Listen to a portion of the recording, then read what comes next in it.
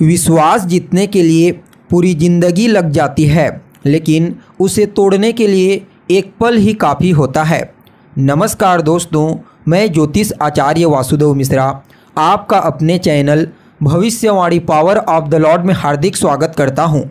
दोस्तों, आज का यह ज्योतिष का कार्यक्रम आप लोगों के लिए, यानी कि वृश्चिक राशि वालों के लिए, बेहद ही ज़्यादा खास और विशेष कार्यक्रम साबित होने वाला है गोचर कुंडली में जब किसी भी प्रकार से राजयोग का निर्माण होता है तो कुछ बेहतर और सकारात्मक परिणाम की प्राप्ति होती है। और ऐसा ही प्रभाव आज से लेकर आने वाले 25 मार्च तक गोचर कुंडली के माध्यम से आपके लिए देखने को मिलेगा। जी हाँ गोचर कुंडली में एक नहीं, दो नहीं, बल्कि पूरे 30 साल के पश्चात एक अद्भुत राजयोग का निर्माण हुआ है। और यह राजयोग आने वाले 25 मार्च 2024 तक आपके लिए प्रभावी रहेगा। इस राजयोग का निर्माण जिन ग्रहों के द्वारा किया जा रहा है। अगर यह तीनों के तीनों ग्रह आपकी जन्म कुंडली में बलवान हैं, इनकी प्लेसमेंट अच्छी है तो समझ जाइए, आने वाला 25 मार्च 2024 तक का समय आपके लिए किसी स्वर्णिम समय से कम साबित नहीं होगा। भले ही यह राजयोग ज़्यादा दिनों के लिए ना बन रहा हो, लेकिन फिर भी 30 से 35 दिनों में ही इस राजयोग के अद्भुत प्रभाव से आपका पूरा का पूरा जीवन बदल जाएगा। आप कह सकते हैं कि यह राजयोग आपके जीवन में कुछ बड़ा बदलाव करने के लिए आया है, क्योंकि जिन तीन ग्रहों के द्वारा इस राजयोग का निर्माण किया जा रहा है, यह तीनों के तीनों ग्रह अगर किसी की कुंडली में बलवान हो जाते हैं तो फिर अन्य ग्रह थोड़े कमज़ोर भी हो जाए तो कोई फ़र्क नहीं पड़ता। क्योंकि ये तीनों के तीनों ग्रह जातक को उसके जीवन काल में सब कुछ प्रदान कर देते हैं। इसलिए जब भी इन तीनों ग्रहों का किसी भी प्रकार से कॉम्बिनेशन होता है तो यह अपना सर्वश्रेष्ठ और सकारात्मक परिणाम देने के लिए बाध्य हो जाते हैं।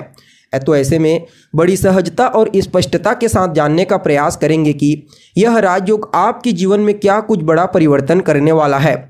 जी हाँ इस राजयोग के प्रभाव से किन किन क्षेत्रों में आपको विशेष रूप से लाभ और सफलता की प्राप्ति होगी?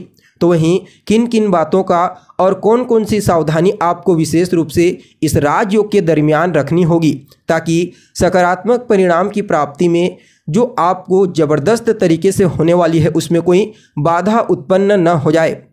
इसलिए कुछ सावधानी भी आपको रखनी आवश्यक है। साथ ही साथ इस राजयोग के प्रभाव को अपने लिए और ज़्यादा बेहतर बनाने के लिए क्या सामान्य और सरल उपाय आपको करना चाहिए? इन तमाम प्रकार के प्रश्नों के उत्तर आज के इस कार्यक्रम में आपको एक एक करके बताएँगे। इसलिए कार्यक्रम को बिना मिस किए अंत तक देखने का प्रयास कीजिए ताकि कोई भी चीज़ आपसे मिस ना हो और आप हर एक चीज़ को बड़ी सहजता के साथ समझ जाएँ। और अगर आप अपनी जन्म कुंडली पर हमसे परामर्श लेना चाहते हैं तो डिस्क्रिप्शन बॉक्स में और वीडियो के अंदर आपको हमारा व्हाट्सअप नंबर मिल जाएगा, जहाँ से आप व्हाट्सअप करके अपनी जन्म कुंडली का विस्तार पूर्वक अध्ययन करवा सकते हैं। तो दोस्तों, देखिए, तेरह फरवरी को सूर्यदेव मकर राशि से निकलकर कुंभ राशि में आए हैं। और कुंभ राशि में पहले से ही शनिदेव गोचर कर रहे हैं बलवान अवस्था में और 20 फरवरी को मकर राशि से निकलकर बुद्ध महाराज कुंभ राशि में आए हैं। तो ऐसे में 20 फरवरी से कुंभ राशि में शनि, सूर्य और बुध, इन तीनों ग्रहों के द्वारा इस राजयोग का निर्माण किया जा चुका है और आने वाले 25 मार्च 2024 तक यह राजयोग आपके लिए प्रभावी रहेगा। देखिए, यह राजयोग आपके जीवन में आपको अद्भुत परिणाम प्रदायक साबित होगा। क्यों? क्योंकि इस राज्य, इस राजयोग को बनाने वाले ग्रह बेहद ही ज़्यादा बलवान और मज़बूत हैं अभी गोचर कुंडली में। तो कैसे? देखिए, सबसे पहले तो शनि अपनी खुद की मूल त्रिकोण राशि, कुंभ राशि में गोचर करते हुए अपने आप को बलवान बनाए हुए हैं। वहीं ग्रहों के सम्राट सूर्यदेव शनि के घर में गोचर करते हुए शनि के द्वारा बल की प्राप्ति कर रहे हैं। और यहाँ पर सूर्य के जो मित्र ग्रह हैं, यानी कि मंगल, गुरु और चंद्रमा, ये तीनों के तीनों ग्रह भी अभी गोचर कुंडली में बलवान ही हैं। साथ ही साथ यहाँ पर सूर्य को राहु का और बुद्ध का भी बल प्राप्त हो रहा है। तो ऐसे में यहाँ सूर्य बलवान हुआ और बुद्ध अपने मित्र के घर में गोचर करते हुए और अपने पिता के साथ गोचर करते हुए अपने आप को बलवान बनाए हुए हैं। और इस समयावधि में जो धन का कारक ग्रह है देवगुरु बृहस्पति, वह भी बलवान है। पराक्रम का कारक ग्रह मंगल भी उच्च राशि में है। और कहीं ना कहीं इस समयावधि में आपके लिए राहु और केतु की प्लेसमेंट अच्छी ही कही जा सकती है इस राजयोग के मामले में। तो ऐसे में यह समय आपके लिए इतना बेहतरीन और सकारात्मक परिणाम प्रदायक होगा कि कहना ही क्या। देखा जाए तो आप लोगों के लिए यानी कि वृश्चिक राशि वालों के लिए यह राजयोग आपकी गोचर कुंडली में चौथे स्थान में बना है। चौथा स्थान किस चीज़ का होता है? तो वैसे मूल रूप से देखा जाए तो चौथा भाव आपके सुखों का भाव होता है। जी हाँ चाहे वह भौतिक सुख साधन हो या फिर मानसिक सुख। इसके अलावा चौथा भाव आपके मान सम्मान, आपकी ख्याति और आपकी प्रसिद्धि के साथ ही रिश्तों में आपके माता का प्रतिनिधित्व करता स्थान होता है।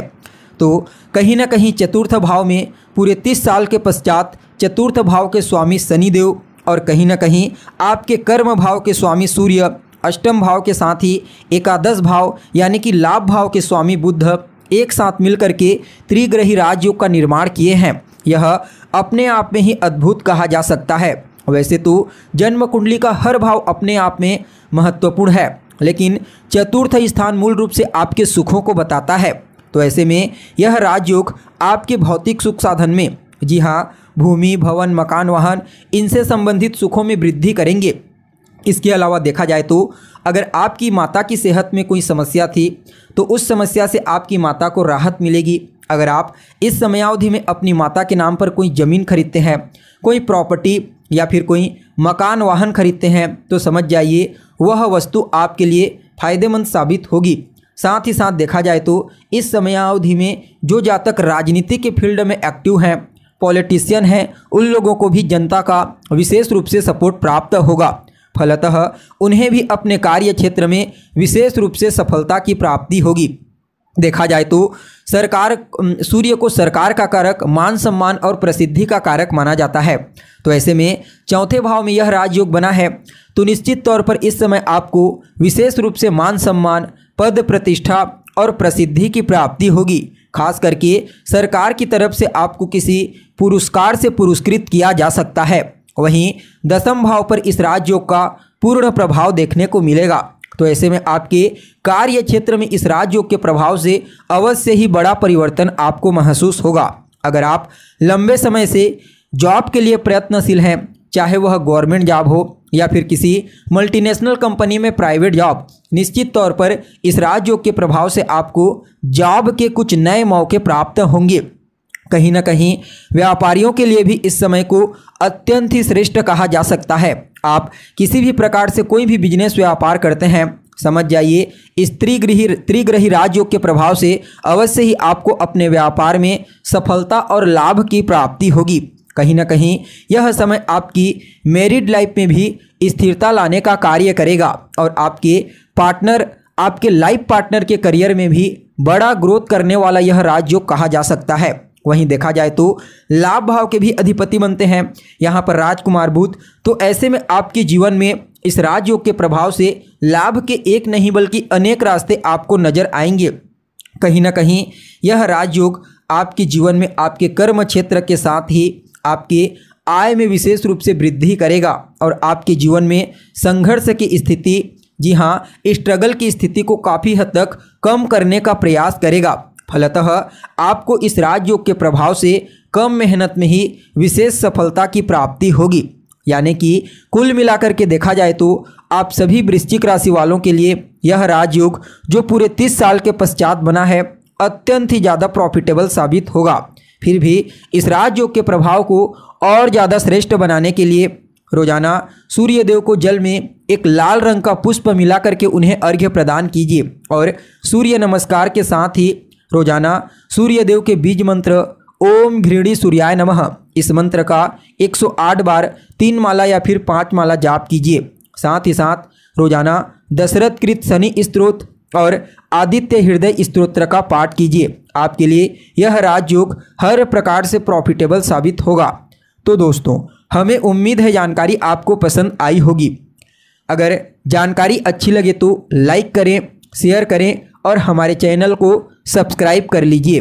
तो चलिए, फिर मिलते हैं एक नए और ताज़ा एपिसोड में। तब तक के लिए आप हमें इजाज़त दीजिए। नमस्कार।